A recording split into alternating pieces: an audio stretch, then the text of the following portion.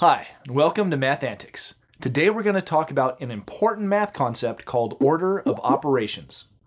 Order of operations is just a set of math rules that tell you which math operations, like addition or multiplication, to do first. Now you might be wondering, especially if you're a teenager, why do I need rules to tell me which operations to do first? Can't I just do them in any order I want? Well, that's a really good question. And to answer it, we're going to give two totally different people the same math problem to solve. The problem is 2 plus 5 times 4. Hmm, I like addition better than multiplication, so I'm going to do that first. Let's see, 2 plus 5 gives us 7, and then I just multiply that 7 by the 4, and I get 28.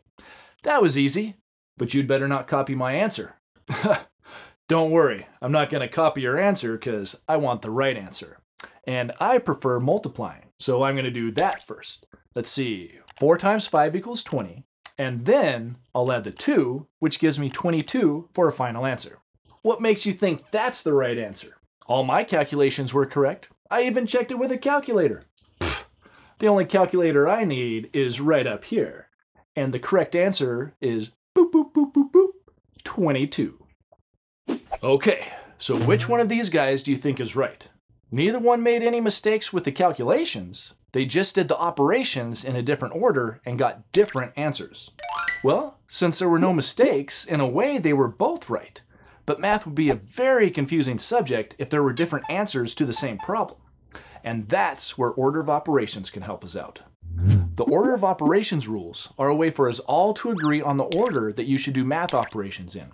And if we always do operations in the same order, then we'll always get the same answer. So now that you know why we need order of operations rules, let's find out what those rules are. There are basically four of them, and they go something like this. First, do operations in parentheses and brackets. Next, do exponents. Then, do multiplication and division. Last, do addition and subtraction. Let's take a closer look at each of these rules and see some examples where they help us. First on the list was do operations in parentheses and brackets. Now, in case you haven't seen parentheses or brackets used in math before, let me briefly explain how they work. Parentheses are just these symbols that curve forwards and backwards, and they're used in pairs like this. And when we put numbers and operators in between them, it forms a group.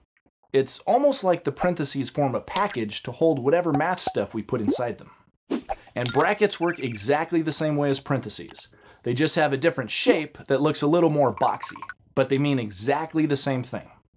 So parentheses and brackets are used to group things together, and our rules tell us to do any operations inside these groups first. For example, have a look at this problem. 10 times 4 plus 5. It has three numbers and two operations, multiplication and addition. But two of the numbers and the addition symbol are inside parentheses.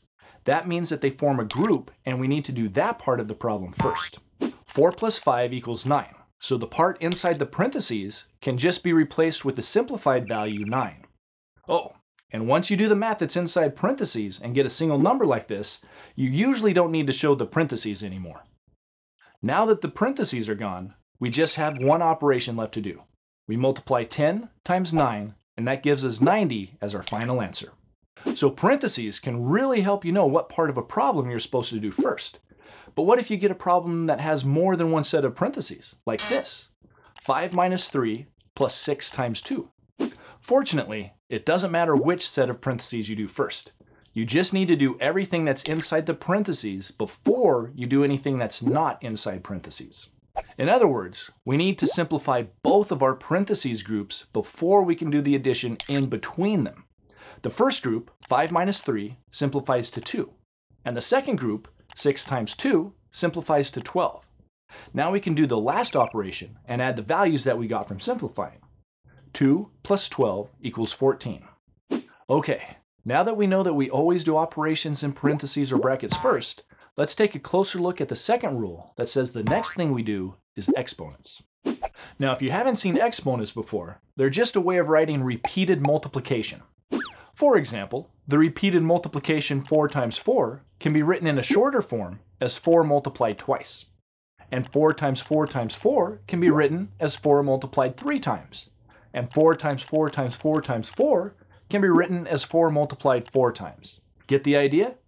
This small number is called an exponent, or power. It just tells you how many times to multiply the bigger number together. So after we take care of any parentheses, simplifying any exponents becomes the next highest priority. For example, in this problem, we have to simplify the exponent before we can do the other multiplication. The exponent is telling us to multiply 5 together twice. So 5 times 5 is 25. And after we do that, then we multiply the result by 3. So 25 times 3 is 75. Oh, and one thing I should point out. Sometimes you'll get a problem that has exponents inside of parentheses, like this problem. And you may wonder, how can I get rid of the parentheses before I do the exponents? You might think that if you simplify the exponent first, you're breaking the rules. But the truth is that by doing whatever operations are inside the parentheses, you are doing the parentheses first. The parentheses really just tell you where to start. So in this problem, first we do 3 to the power of 2, which means 3 times 3, which is 9. Then the part inside the parentheses is 9 times 4, which equals 36. And once the parentheses are gone, we add 36 plus 6 and get 42 as our final answer. All right, now we're going to look at the last two rules together. These two rules are really important because they deal with the most common math operations, addition, subtraction, multiplication, and division. And the rules tell us that we need to do multiplication and division before we do addition and subtraction. To see how these rules work, let's look at a few quick examples that use those basic operations. First, let's try this one. 2 plus 5 times 4. Aha! Does this look familiar? Yep, it's the one we gave to my two friends earlier. And now that we have our rules, we see that we have to do the multiplication before the addition. 5 times 4 equals 20, and then we add the 2, which gives us 22. So the second guy was right. What a surprise! Now let's try this one. 3 times 5 minus 1. Our rules tell us that multiplication is higher on the list than subtraction, so we do 3 times 5 first. And that gives us 15, and then we subtract the 1, which leaves 14 as our final answer. Here's one with division and subtraction. 20 minus 10 divided by 5. And since division has a higher priority, we do the 10 divided by 5 first, which equals 2 and then we subtract 2 from 20 and get 18 as our final answer. And here's another problem. 12 divided by 6 plus 5. Again, our rules say to do the division before addition. So 12 divided by 6 equals 2, and then we add the 5 to get 7. And here's one last problem. 40 divided by 4 times 5. Which do we do first, the multiplication or division? Our rules don't tell us. Well, that's because multiplication and division are tied for priority or importance. So are addition and subtraction.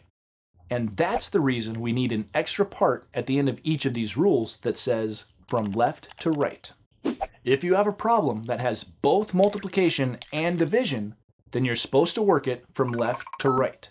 That's because in some cases, you can get a different answer if you go from right to left.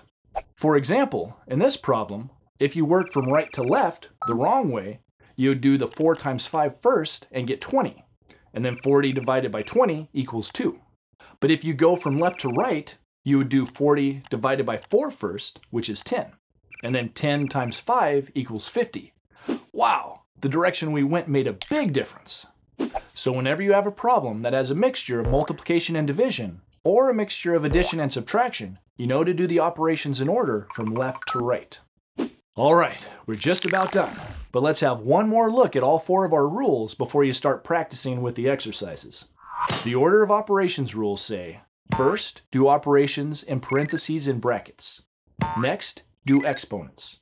Then, do multiplication and division from left to right. Last, do addition and subtraction from left to right. All right, that does it for this video. Good luck with the exercises, and I'll see you next time. Learn more at mathantics.com.